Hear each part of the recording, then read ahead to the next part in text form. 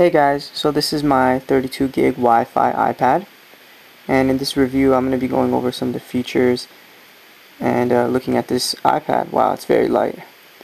Um, so at the top here we got the power button, 3.5 millimeter headset jack. On the side we got the volume control, mute button, and on the bottom we got the ports and speakers plugging into the computer. Wow, and as you could already see the accelerometer is going crazy here. So that's pretty cool. It's very very very uh, exact it looks like. And so looking at the dock down here uh, it's you know typically like your iPhone dock uh, except it's a little more 3D as you can see it looks like the icons are sitting on a table. And you know it's pretty cool because it gives you the, the feeling as if you're you're working on like a high definition TV while you're doing it. And uh, it makes a more realistic feel to it and the icons kind of just hover there. You can see that there's a background that's changeable. And uh, it's very very sensitive to your fingers while I go through these pages I'm going to show you. Let me just show you uh, some of the apps. These came preloaded uh, with this iPad. Oops.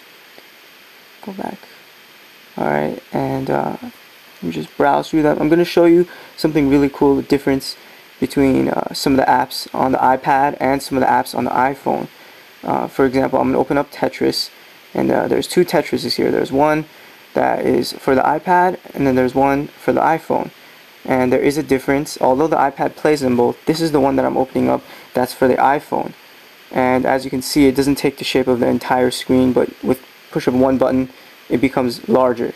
Now, this isn't designed for the iPad, however, the iPad will play it. That's just what it will do with any normal iPhone game or game or application.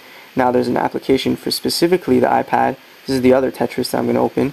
Now you see it takes the shape of the entire screen and you know the graphics are probably a little bit better you can see and it's more designed for the iPad. Now that's one thing that's different about the iPad and it separates it uh, from you know the iPhone and iPod Touch that play the same thing.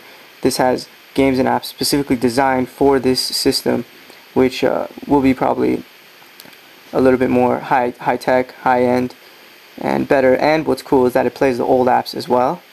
That's uh, one very neat thing about this iPad. So I'm gonna show you uh, one more thing here.